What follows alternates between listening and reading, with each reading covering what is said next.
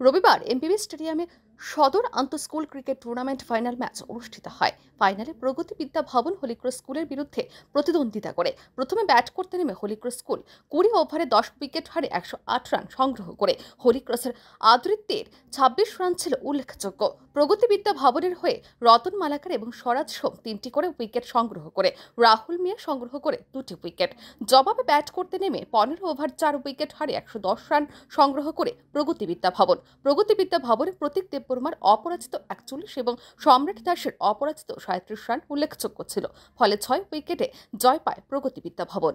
Bureau report R E news.